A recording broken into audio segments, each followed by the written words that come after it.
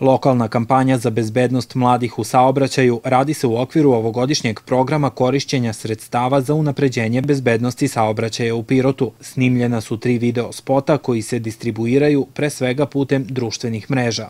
Radi se pre svega o internet kampanji, dakle osnovna ideja je da se ta tri snimljena video spota prezentuju mladima i distribuiraju pre svega preko društvenih mreža, Facebooka, Instagrama i ostalih, jer smatramo da u današnje vreme sa razvojem tehnologije to je osnovni način komunikacije među mladima. Dakle, mladi veoma redko gledaju televiziju, najviše se najviše komuniciraju preko tih društvenih mreža i mislimo da ćemo distribucijom video spotova preko društvenih mreža postići najveći efekat upravo kod mladih koji su ciljna grupa.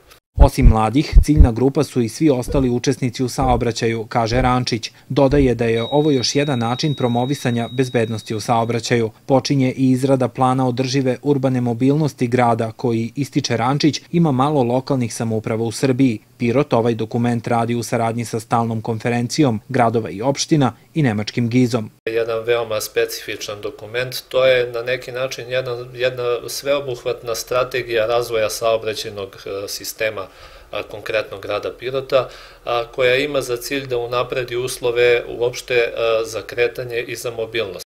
Polazna tačka izrade ovog plana je anketa o stavovima građana. Odgovaranjem na tih nekoliko, odnosno desetak pitanja koliko sadrži anketa, mi ćemo dobiti neke ulazne podatke na osnovu koje ćemo dalje razvijati sam, sam plan kako bi postigli konačni cilj, a to je da se utvrdi vizija razvoja saobraćnog sistema.